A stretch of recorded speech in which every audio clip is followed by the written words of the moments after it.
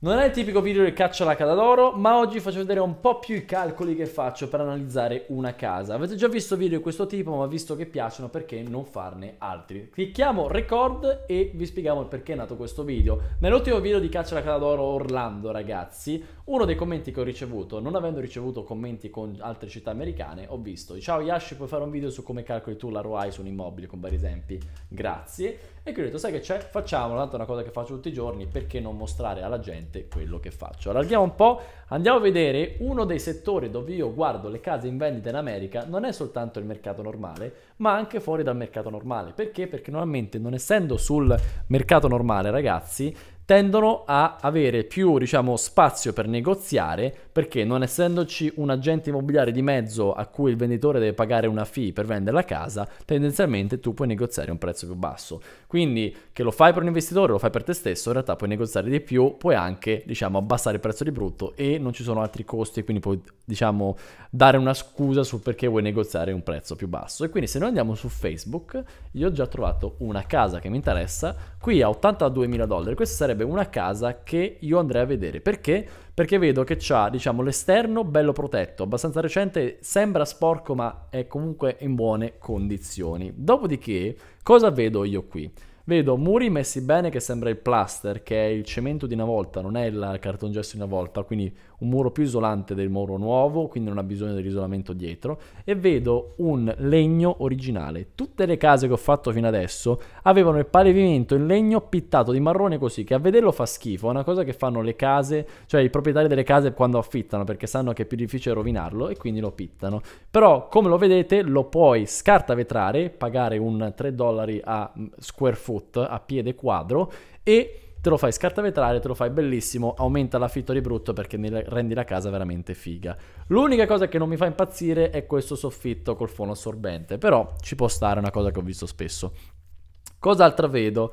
Vabbè, legno sempre qui. Vedo un bagno che ha un cesso relativamente nuovo, la doccia vasca da bagno relativamente nuova, e questa è una cosa buona da avere e diciamo quel pavimento che è un po' questionabile, l'unica cosa che non mi piace per niente ragazzi è il pavimento qui di questo corridoio che cambierei.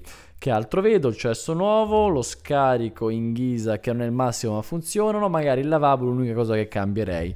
Cosa ha bisogno della casa? Il pavimento, una bella pittata magari completa, quindi tra pavimento e pittata meno di 10.000 dollari con una casa da 82 mila dollari. Dov'è la casa? US 221 Lynchburg VA, mettiamo questo su Zillow.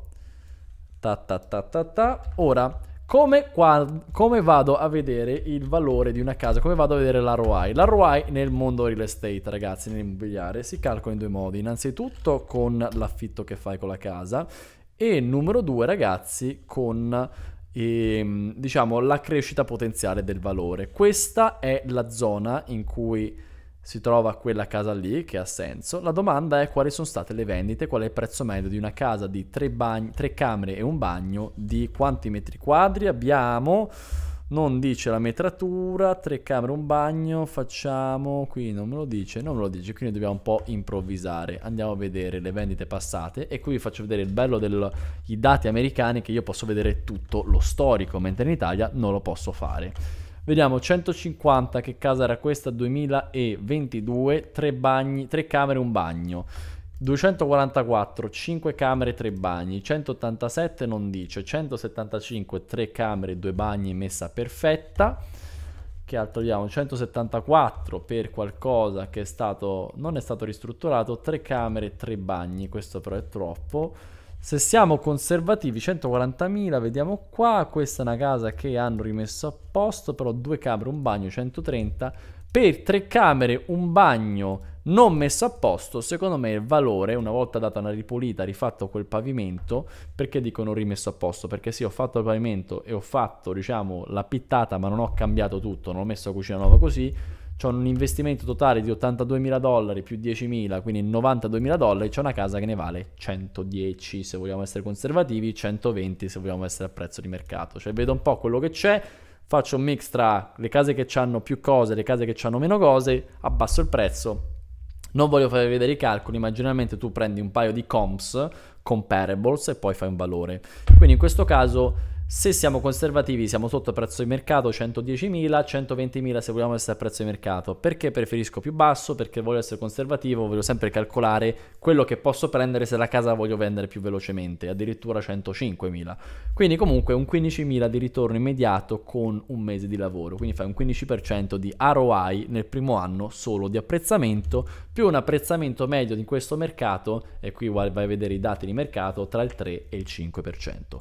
Quindi lasciamo 15% solo di apprezzamento. Numero 2, questa è la parte più importante di cui parlo sempre ragazzi, la rendita. Come calcolo il ritorno sulla rendita? Andiamo sul mio bellissimo file, che è questo qui che avete visto più volte, infilo i dati, quindi 82.000 più 10.000 di restauro, e tra l'altro vi dirò che questa casa, secondo me, se mi presento con 75.000 di offerta, la prendo. Quindi facciamo 75.000 di offerta cash, facciamo che facciamo l'impresa di 1000. Con 86.000 c'è una casa, c'è una casa. La domanda è quanto riesco a affittarla. E qui andiamo su for rent, vediamo cosa c'è.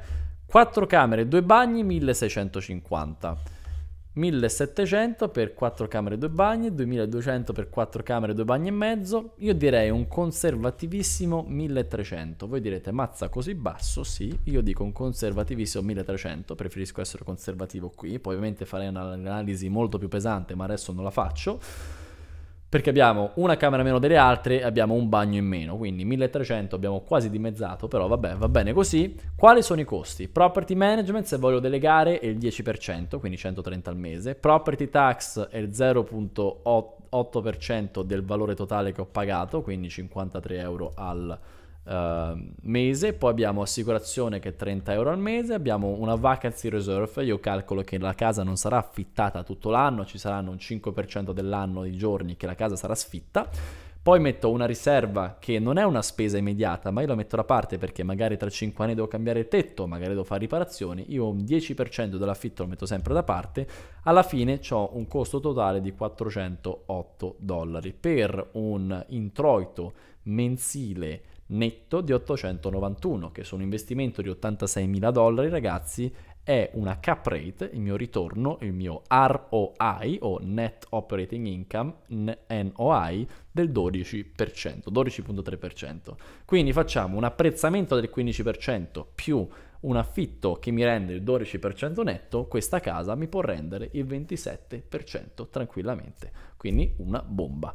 Magari il primo anno 27%, il secondo anno avrò un apprezzamento del 2% più l'affitto del 12%, senza neanche considerare che magari c'è l'inflazione e l'affitto sale. Ed è così che io analizzo una casa. Ovviamente poi dopo mi metto i miei standard minimi, che può essere il 5% che accetto, questa qui potrebbe essere una buona casa, però perché ci devo mettere lavoro mio standard minimo è il 5%, ed eccoci qua, così è che calcolo, così è il metodo che utilizzo per calcolare l'ROI potenziale. Ovviamente poi devi andare a vedere la casa, devi fare i calcoli delle altre spese che non hai visto, però in generale se c'è un buon punto di partenza può essere anche, cioè ti va bene anche trovare altre cose più avanti quando vai a vedere la casa e fai un'ispezione perché tanto hai già un buon alto punto di partenza. Ragazzi, questo qui conclude il video su come analizzo appunto le case con questo esempio qui che avevo visto. Questo potrebbe essere una buona casa. Ha bisogno di un paio di lavoretti, non sono pesanti, sono principalmente cosmetici. La cosa che a me importa più di tutti sono il tetto e il di fuori perché la cosa peggiore in America sulle case è il danno per acqua